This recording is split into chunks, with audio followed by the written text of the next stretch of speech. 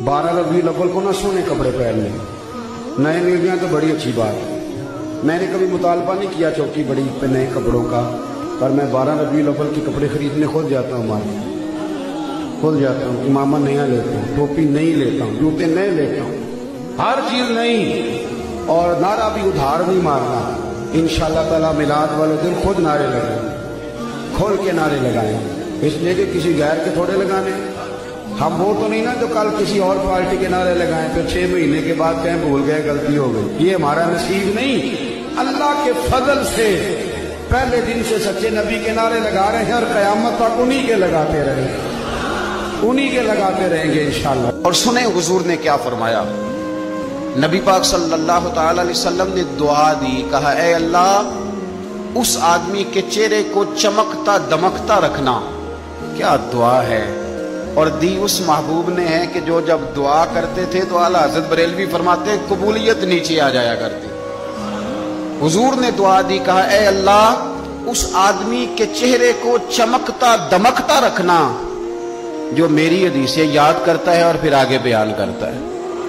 اس کے چہرے کو چمکتا، دمکتا رکھنا۔ یہ رسول پاک صلی اللہ تعالی علیہ وسلم نے دعا دی۔ میرے عزیز امام بخاری رحمۃ اللہ علیہ کے ایک شاگرد تھے، محمد بن عباس۔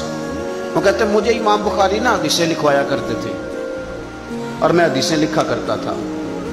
جب آپ حدیث پاک پڑھتے ہیں یا حدیث پاک سنتے ہیں، تو کئی دفعہ ایسے ہوتا ہے کہ آپ کوئی واقعہ اچھے طریقے سے پڑھ رہے ہیں، حضور کے دور کا صلی اللہ علیہ وسلم یا سن رہے ہیں، ایسے لگتا ہے کہ وہ منظر آنکھوں کے سامنے گھوم گیا ہے۔ امام بخاری رحمت اللہ تعالیٰ نے اپنے شاگرد کو حدیثیں لکھوا رہے تھے، تو ایک خاص حدیث پاک کے لحاظ سے آپ نے فلسفہ بیان کیا۔ انہیں چونکہ حدیث پاک کے مشن سے پیار بڑا تھا امام بخاری کو۔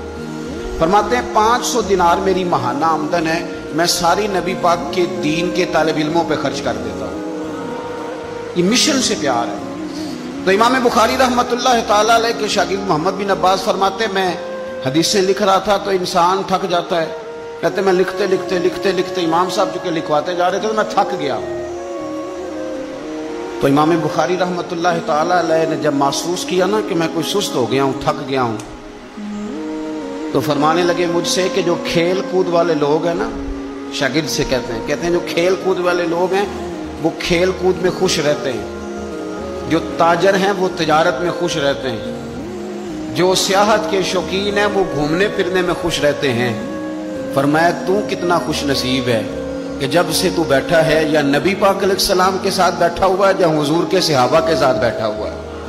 وہ یا نبی پاک کی حدیثیں لکھنا، حدیثیں جمع کرنا، حدیثیں بیان کرنا، حدیث کے ساتھ تعلق رکھنا، اس کا معنی یہ ہے کہ آپ نے نبی پاک کی صحبت اختیار کی ہوئی، آپ نے حضور کے صحابہ کی صحبت اختیار کی ہوئی، حدیث پاک کو یاد رکھیں، حدیثیں اپنے ذہن کے اندر بٹھائیں ایک حدیث پاک میں نبی پاک صلی اللہ علیہ وسلم نے فرمایا جس نے چالیس حدیثیں جمع کر کے میری امت تک پہنچائی، اللہ قیامت کے دن اسے علماء کے ساتھ کھڑا فرمائے۔ حدیثوں کو یاد رکھیں، میرا آپ کو مشورہ ہے کہ رات کو بیٹھ کے لکھیں آپ کو کتنی حدیثیں یاد ہیں۔ جو یاد ہیں وہ لکھیں۔ اور حضور صلی اللہ علیہ وسلم کی باتوں کا ذکر کریں۔ کسی شاعر نے ایک جملہ کہا تھا پر بڑے بہترین کہہ دیا۔ وہ کہنے لگا، یا رسول اللہ صلی اللہ علیہ وسلم، میری تو بات بن گئی ہے، بس تیری بات کرتے کرتے۔